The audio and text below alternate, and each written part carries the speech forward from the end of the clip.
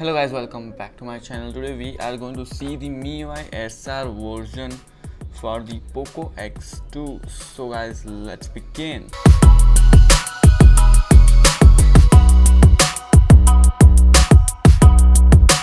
Here is the MIUI SR version, MIUI 13, the Crest stable version and going to the all specs these are the option and the device name here is showing is pixel the security patch level here is a bit older one because this is not the newest the latest build i am running.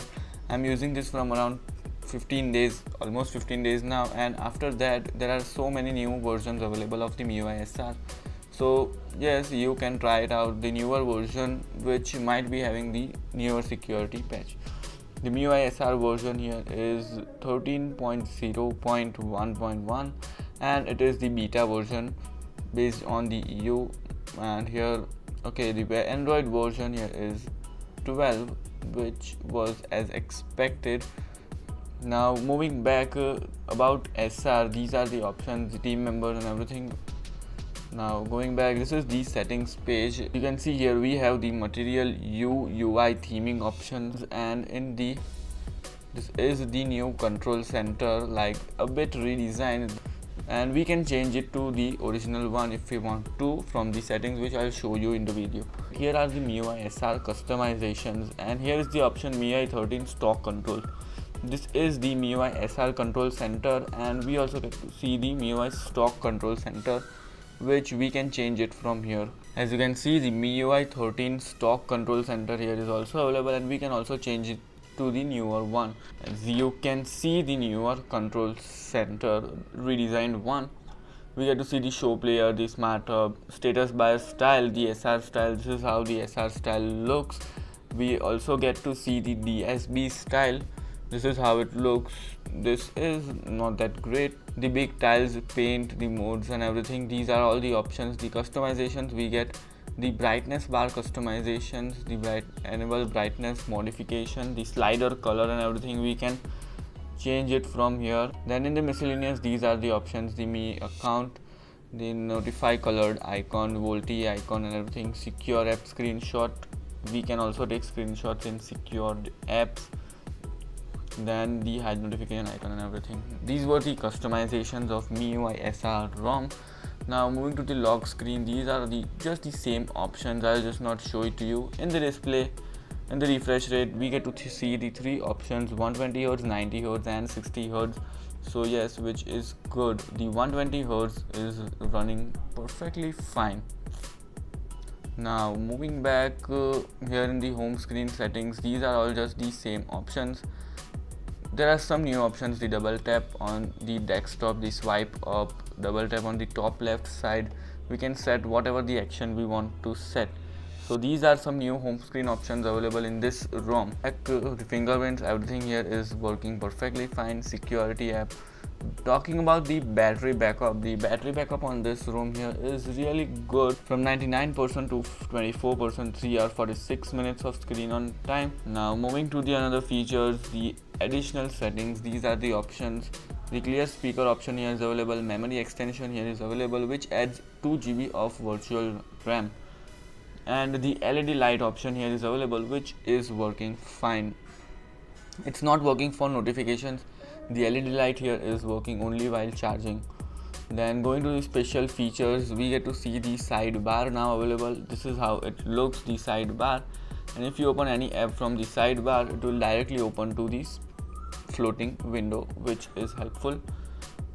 Now moving back the tab plus here is available. The floating window kids space here is available but it is in chinese. The light mode MIUI lab everything here is so far available. All the features MIUI features are available. There are no features missing out. This is the app vault. We don't get to see the google feed option. We only get to see the app vault.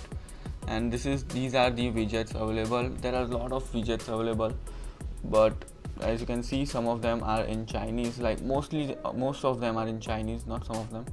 As you can see this is the add widgets page we can add whatever the widget we want. So yeah these are a whole lot of widgets we can download. Now moving to the home screen this is the ui and the ui here is a bit smooth like it's a lot smoother as you can see. There are no lags or stutters. It's smooth but the animations here are slow. It's not that as much fast as the other ROMs the animations are made slow and smooth and 120 hertz it just feels great. Talking about the performance here the performance on this ROM here is just not an issue. It's just great. As you can see these are the geekbench scores 539 and 1673 so scores are great and the performance here is also great no issues. These are the only apps available as you can see. And i have installed some of the apps so now talking about the safety net status the safety net status has failed and the banking apps here are just not working. All the banking apps here are not working and the google play protect certification has also failed. I'll show you in the settings. As you can see device certification device is not certified. So the banking apps are just not working here in this ROM. Otherwise everything is working fine so far so good. No such major bugs. Everything here is good. And we get to see these unimportant notifications feature here in this ROM which is from the EUROM so yes. And this is the new clock style. This is the default theme the home default theme. Then the icons here are default. I'll show you in the themes. This is the chinese theme app available here in the my account. As you can see the theme this is the classic theme here. It is showing this app icons but the app icons are by default at this one and we cannot change it to the original one. Now talking about the other things like bugs here. The bug here is uh, that the volume bar just don't go up when you press and hold the volume button and also the you cannot increase the volume but volume with the volume buttons or decrease the volume. You have to do like this. When you press and hold the volume down button it goes on the silent mode. And when you double tap all and you press and hold the up button then it just goes to the normal mode. So this is a feature available. And if you keep pressing the volume down button it will go to the DND mode. So this is a feature available and the volume just don't go up and down with the volume button. So this is also a bug and it's called kind of feature. So yeah and the gallery app here is just the same as the you get in the EUROM the all and the camera. So yeah this was it for now. If you enjoyed this video then don't forget to the like button. If you are new to this channel then please guys subscribe to the channel. And if you have any questions then you can ask me in the comment section below or in the telegram group. I'll meet you in the next one. Till then stay safe have fun and bye